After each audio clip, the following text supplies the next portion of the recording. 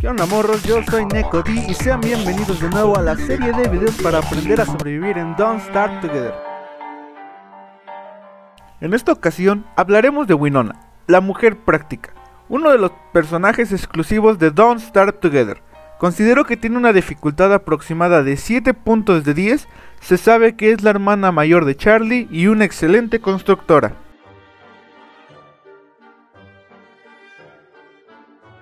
Sus estadísticas son de Cordura 200 puntos. Salud 150 puntos. Hambre 150 puntos.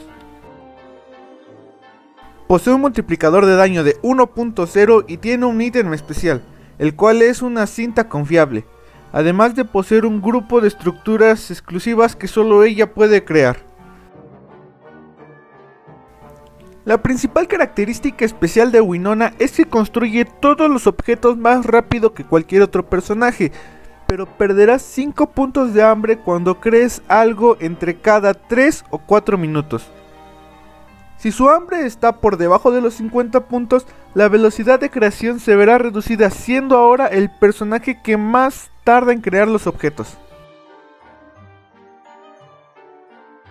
Si te preocupa poder ser atacado por la oscuridad creando algún objeto de luz cuando tienes menos de 50 puntos de hambre, hablemos de su segunda característica.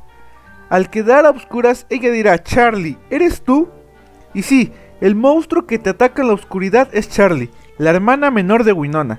Les daré un momento para que lo asimilen. ¿Listo? Continuamos. Winona puede recibir un golpe de Charlie sin recibir daño después de quedarse sin luz, así que podrás crear una linda antorcha antes de ser atacado por tu pequeña hermana. Ahora hablemos de su objeto especial, la cinta confiable de Winona. Como todo buen obrero debes de cargar esa cinta gris que en más de una ocasión te solucionará los problemas.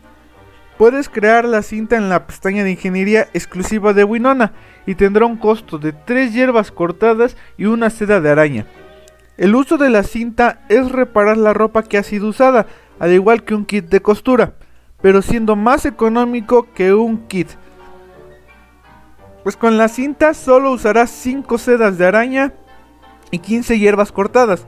Comparado con el kit de costura, usarías 8 sedas, un tronco y dos dientes de sabueso. Puedes apilar la cinta hasta un máximo de 40, a diferencia del kit de costura que no se puede apilar. Empiezas el juego con tres cintas confiables y las puedes usar para crear las estructuras especiales de Winona. Empecemos con los generadores de energía. Existen dos, y cada uno tiene un rango para proveer energía a cualquiera de las otras estructuras que puede crear Winona. El pequeño se crea con una cinta confiable, dos troncos y dos de salitre, y puede ser recargado con salitre. El grande tiene un costo de una cinta confiable, dos tablas y dos artilugios eléctricos. Se recarga con gemas y no importa qué tipo de gemas utilices, le dará la misma cantidad de combustible. Así que sugiero utilizar solo las gemas rojas y azules para cargar de energía, debido a que son de más fácil obtención que cualquier otra gema.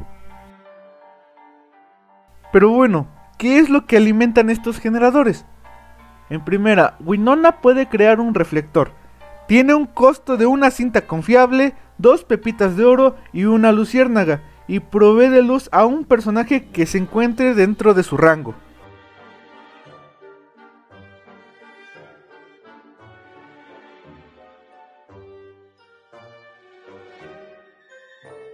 ¿Te gusta pelear? Entonces te va a gustar la siguiente estructura.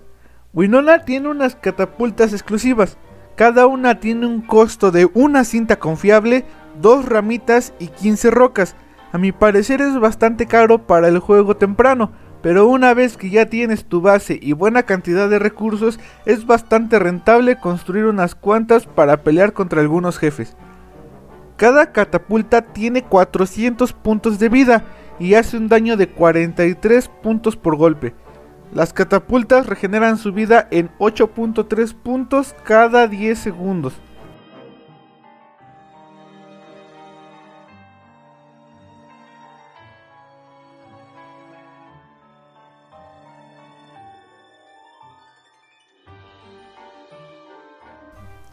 Con esto termina la guía básica de Winona.